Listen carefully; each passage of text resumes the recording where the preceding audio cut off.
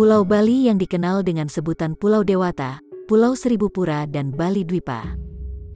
Bali yang sangat terkenal di seluruh Indonesia, bahkan terkenal di seluruh dunia akan keindahan alam, seni, dan kebudayaannya yang unik, tentunya menjadi destinasi wisata mancanegara.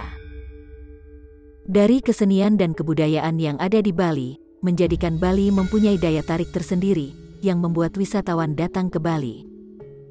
Masyarakat Bali memiliki bentuk seni pertunjukan berupa tari topeng, yang dapat menarik perhatian para wisatawan. Tari topeng tidak sekedar berfungsi sebagai hiburan, namun sebagian di antaranya menjadi pelengkap dalam sebuah ritual keagamaan. Salah satunya topeng Sidekarya.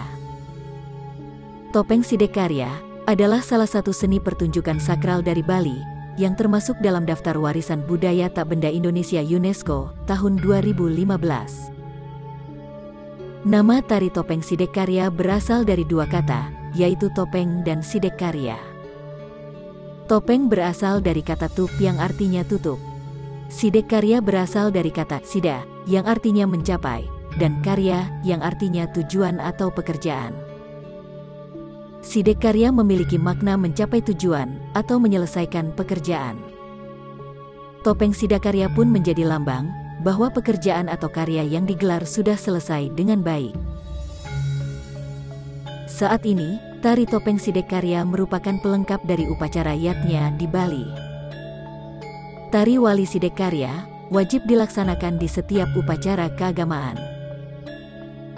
Tari topeng ditampilkan sebagai tari persembahan atau wawalen sebelum acara pemujaan bersama yang dipimpin oleh seorang sulinggi. Tujuannya agar upacara yang berlangsung dapat terselenggara dengan baik dan selamat serta terhindar dari segala bahaya.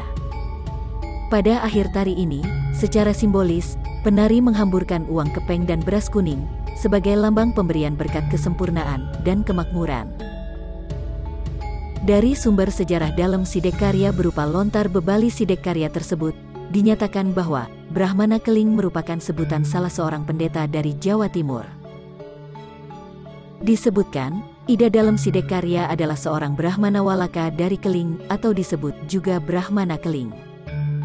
Ia adalah putra dari Dang Hyang Kayu Manis, cucu dari Empu Chandra, Kumpi dari Empu Bahula dan Cicit dari Empu Barada. Dang Hyang Kayu Manis sendiri menjadi nabe dari dalam Watu Renggong, Raja Gel-Gel Klungkung.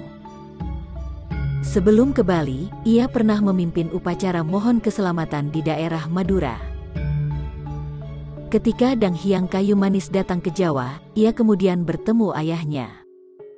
Tidak dikisahkan perjalanan dari Jawa ke Bali, namun sesampainya ia di Puri Gel-Gel, Puri tersebut sepi, karena Raja Watu Renggong sedang berada di Pura Besakih, mempersiapkan pelaksanaan suatu upacara. Brahmana langsung menuju pura tersebut. Sesampainya di sana, ia disapa para pembantu raja dan menanyakan maksud kedatangannya.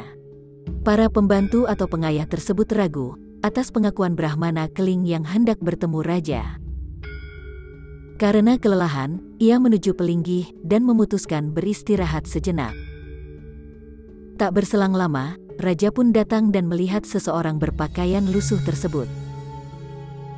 Ketika raja melihat bahwa ada seseorang dengan pakaian lusuh datang hendak menemuinya, ia tidak mengakui Brahmana Keling dan mengusirnya. Ia akhirnya meninggalkan pura Besakih dan sempat mengucapkan kutu pastu atau kutukan. Tak berselang lama, kutukan tersebut terbukti, sehingga kerajaan Bali diserang hama dan penyakit.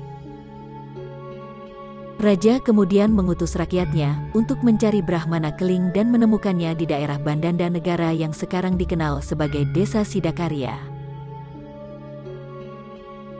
Dan sang Brahmana pun bersedia mengembalikan keadaan seperti semula. Untuk mengenang jasa dalam Sidakarya, sekitar tahun 1518 Masehi, dalam Watu Renggong memerintahkan pendirian pura dalam Sidekarya pada tahun Saka 1615. Selepas tragedi tersebut, masyarakat membuat topeng Sidekarya. Bentuk wajahnya dibuat tidak tampan, giginya meranggas, sebagai perlambang bahwa saat itu, Brahmana yang datang di kerajaan tersebut berpenampilan compang-camping. Hanya seniman khusus yang bisa membuatnya, dan harus ada prosesi khusus yang dilalui. Begitu pula dengan penari yang menampilkan tarian ini. Mereka juga harus melakukan ritual terlebih dahulu sebelum menari. Penampilan tarian ini biasanya disisipkan juga dengan pesan-pesan pengingat kebaikan. Sebagai generasi muda, kita harus menjaga dan melestarikan kebudayaan yang telah diwariskan oleh leluhur.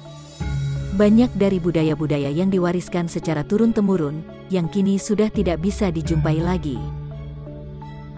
Terutama tari topeng, yang patut kita jaga dan dilestarikan. Karena, Tari topeng dipercaya oleh umat Hindu Bali sebagai ritual pelengkap upacara keagamaan, sehingga bisa berlangsung dengan lancar.